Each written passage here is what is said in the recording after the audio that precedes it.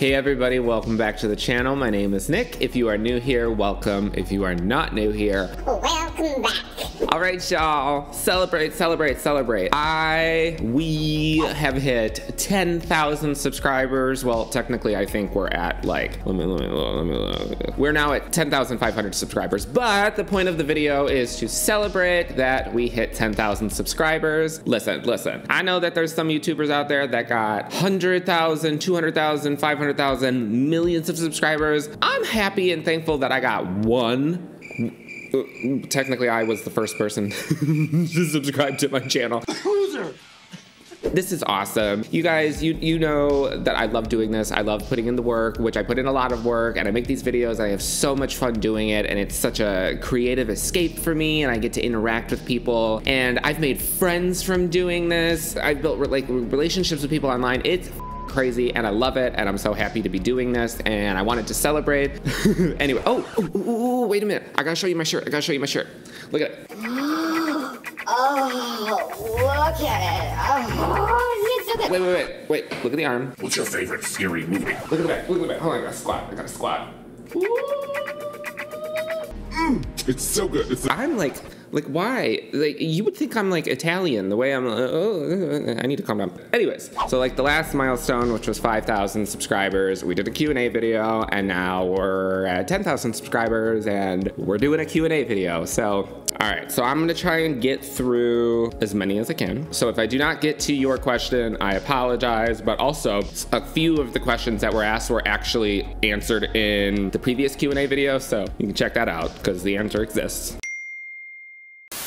All right, so now we will get into this. All right, let's see. First question Have you considered doing more Asian horror? Things like Obscura, N- Norai? I don't know how to say that. The Eye, the newer Incantation. Also, I'd love to see you do the Grudge remake movies with SMG for a fun time. So I have not heard of the movies that you mentioned, although I think, is The Eye the one with Jessica Alba? Because I've seen that. But yeah, I mean, I'm sure. So here's the thing with that is in regards to like the requests and movies that I'm gonna be doing on the channel, it's entirely possible that there is going to be more Asian horror. Like 100%, The Ring and The Grudge will be on the channel at some point because those both of those films, the American remakes, are some of my favorite movies of all time, and also Sarah Michelle Gellar, obviously. But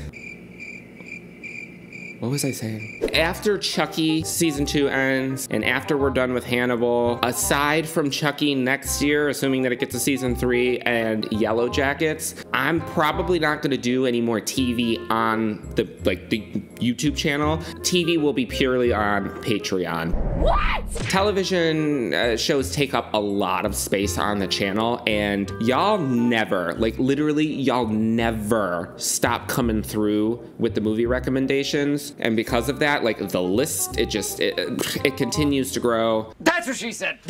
and I want to be able to get through that. So it's significantly easier if I just do movies on the channel. We're getting to all of the sequels to the films that I watched, you know, over the last year and a half. Like uh, we're gonna have, you know, Slumber Party Massacre 2. We're gonna have Silent Night, Deadly Night 2, all stuff like that. So because it's opening up the door for so many more movies, I am sure that there is going to be plenty of Asian horror on here. And also Incantation, I watched that shit and I, not again. I'm gonna pass on that one. Question number dos. What do you think about Will and Hannibal's friendship slash relationship?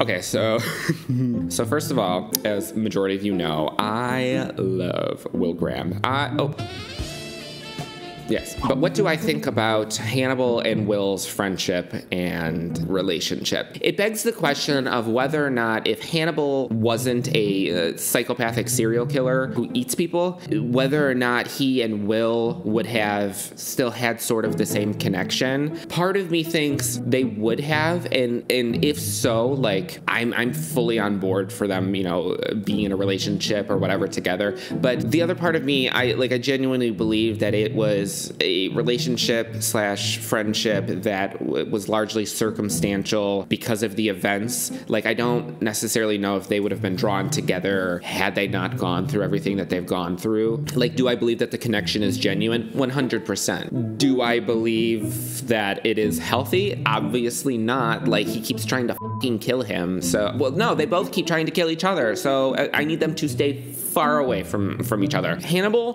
can go to prison or the electric chair or the uh, uh, take him out back and shoot him like Lassie or whatever that was. And Will, he can come over to my address. He's he's delicious. I mean, I really do mean that. That's a delicious man right there. Question number three. Other than Buffy, who is your favorite character in Sunnydale? Uh, Faith, 100%. I'm obsessed with her. Somebody, somebody commented the other day about Buffy, and they were like, "Growing up, I wanted to be Buffy. As an adult, I realized I'm Faith, and I would be like, yeah, that's 100%." Buffy is obviously my favorite character, and I relate to her a lot, but I also can understand Faith. I think Faith is a very damaged character. Hey, Queen. Faith goes through a lot, and Faith has felt very isolated. Hey, Queen. So her, I mean, maybe not murder, but like a lot of her actions and, and the way that she, you know, comes about things and her redemption and stuff like that. I relate to it and I understand it and I love the character of Faith. I actually have on the back of my neck, uh, it says five by five. I have that tattoo.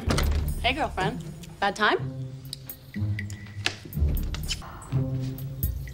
フフフッ。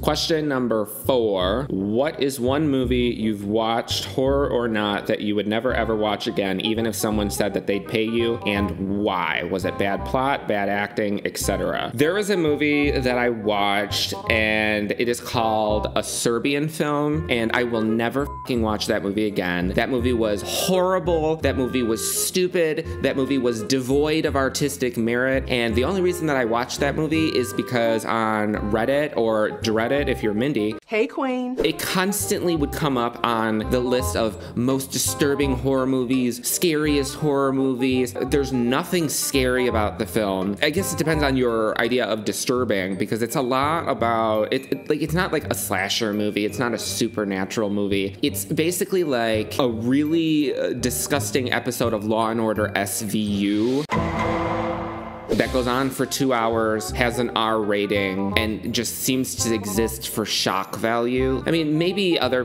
people like it. Obviously, other people like it. I, it's just, it's not for me. It's not something that I enjoyed. It's not something that I connected with. It's not something that I would ever watch again. It, it was, it, that shit was bad. Number five, have you ever been to Spirit Halloween? Eh, Hell yeah, I I live and breathe Spirit Halloween. Question number six, are you going to see Halloween Ends? Really, Queen? Have y'all met me? Uh, hell yeah, hell, hell yes, yes. Yes, yes, yes! Now, eventually, I will have like a rewatch reaction on the channel for Halloween Ends, but uh, starting with H2O, I've seen every one of them in theaters for the first time, my first time viewing it. That's why I saw it in theaters versus doing a first time reaction on the channel. And yes, I did see it. Surprising everyone, including myself, because let me tell you, I was shook. I loved it. I loved it. I know everybody seems to hate it. I loved Halloween Ends. Mm, so good. Question number seven. Yes, Nick, I have a question. How are you so wonderful? Well, as a wise, wise woman once said, I was born this way. Police! Help! Police! Help! okay, number eight. And I, I think we're on number eight. I wrote it down, but then I forgot that I was writing it down. okay, number eight. Have you ever watched Stranger Things? And if so, do you ship Mike and Will or Eleven and Mike? Yes, I've, I've watched Stranger Things. I love Stranger Things. I am completely caught up. Eddie, Eddie Munson is everything to me. I. Take me with you. I belong down there in the darkness. Who do I ship? I don't really ship any of them, to be honest with you. I don't ship uh, Mike and Will because Will is the gay one. Mike is not gay, and well, technically they haven't even had the balls to allow Will to say that he's gay, even though it's obvious. But yeah, like honestly, I don't, I don't ship any of them. I think realistically, what needs to happen is they need to let Will come out of the closet completely because that scene in the car with him crying was heartbreaking. They need to let him come out of the closet and they need to let him go to a barber who knows how to cut hair because what they have done to that character's hair for the last four seasons is unacceptable.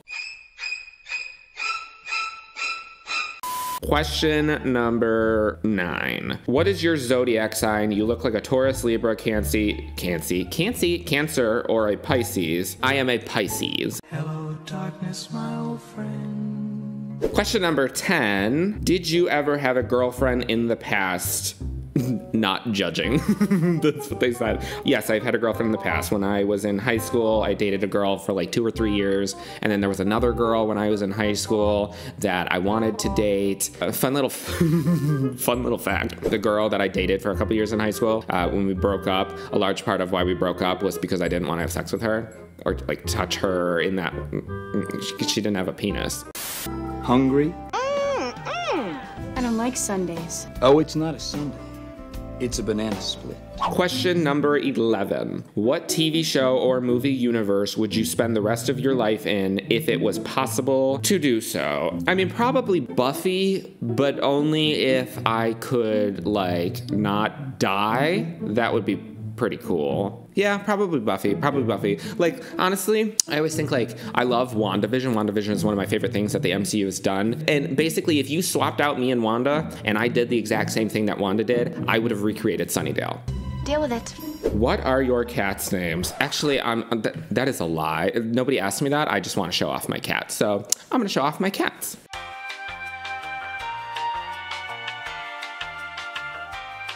Say hi to the camera. So this is Beerus. Say hi, Beerus. Look cute. Beerus is my little fat boy. His full name is Lord Beerus, Destroyer of Universe 7, His Holy Fatness. And he's cute. And he's fat. And I love him. And he's my little spooky cat. Where's that other little bitch? And this beautiful angel sent from the heavens above is my baby girl. Her name is Zan. Her full name is Zan Winchester Schmeckles, first of her name, Breaker of Chains. And she is the greatest thing ever. I mean, I love my other cat too. Hopefully he doesn't watch this video, but I, this, this one? I love her so much. I love her so much. Okay, go away. Okay, I think that was question 12. So anyway, let's get back to it. Congratulations, babe. I'm so happy for you, but I was wondering, besides horror, what is your favorite genre? Also, what is your favorite movie? Oh, this is from Carla. Thank you for asking questions, Carla. Um, okay, what is, this is a two-parter question, technically. So, uh, besides horror, what is your favorite genre? I mean, like, um, I don't know, thriller, suspense, uh, basically anything that, like, elevates my heart rate, which I guess would technically also include porn.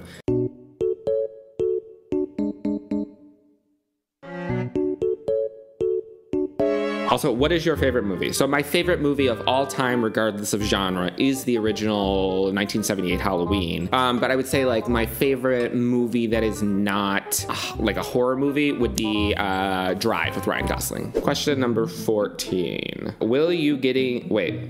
Hold on a second. I'm, I'm hooked on phonics. What the? F- how do I read? Will you be getting into giallo? Let me let me tell you a little secret about giallo. I don't know what that is. I know, like I've heard it, but I don't know what the f- it is. Oh, you know what? I actually recently asked a friend what this was, and I already forgot what he said. Let me see. Fucking idiot. In Italian cinema, Giallo is a genre of mystery fiction and thrillers and often contains slasher, crime fiction, psychological thriller, psychological horror, sexploitation, and less frequently supernatural horror elements. Girl, what? That's a lot. That's a real big umbrella. What? Let me let, us see. What films y'all got in this Giallo shit? Orgasmo? What the f- is that? What have you done to Solange? Solange Knowles? Who? The Neon Demon? Oh, I, I've seen the Neon Demon. The Neon Demon is beautiful. The Neon Demon was directed by Nicolas Winding Refn, who directed Drive. Stage Fright. Um, Stage Fright is on my list to watch next year. Suspiria, I've seen Suspiria. Deep Red, I've heard of Deep Red, but I've not seen it. Yeah, let's put it this way: if enough people request it, I will 100% watch it. I'm not like like like I said, I know I've heard the term and I know that it's associated with horror movies, but like I don't. I don't know really much about it, so educate me. All right, question number 15. Yay, by the way, what will you show? What? What does that mean? Oh, because I said that I won't show feet. What will you show? What you've seen? What is in the frame? Y'all little heathens. 16. If you had to eat only one food for breakfast, lunch, and dinner forever, what would you choose? Chicken nuggets, 100%. Chicken nuggets are my favorite food. I don't care if people say that that's for children. I don't care. Chicken nuggets are so good. And, uh, oh my God. Y'all eat, yeah.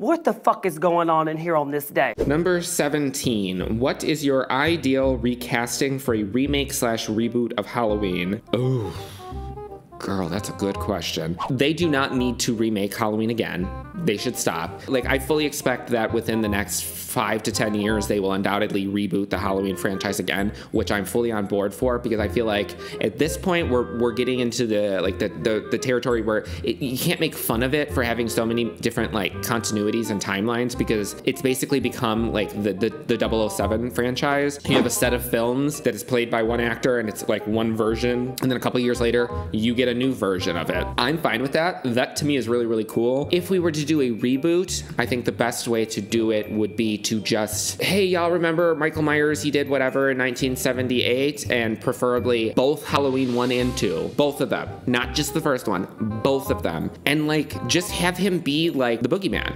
Like, we don't have to have all these crazy connections and ties and characters from previous movies. Just have him be the spirit of Halloween and he shows up and starts killing people. That's all you really need.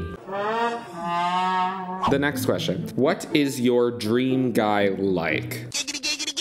I don't know. I mean, if we're talking about like physical stuff, like I love a beautiful smile. There's something about eyes that I really, really like. Oh, oh, oh! If you if you're familiar with the actor Benjamin McKenzie, he was on the OC. He was on Southland. He's on Gotham. Is Gotham even still on? But like his eyes, the shape of his eyes, I don't know. There's just something about it. There's just something about it. Um, I mean, I like a, a, a man with a.